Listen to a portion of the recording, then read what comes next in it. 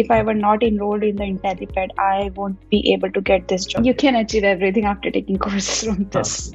I mean, I would interrupt them at least 10 to 15 times during a session, but not mm-hmm. even once did I feel that you know they were overwhelmed or uh, you know hesitant to answer my question. So initially, I was very skeptical about online training, so I just took one course, R for Data Science, and after doing that course, I realized and I ultimately made my mind to upgrade my course to masters.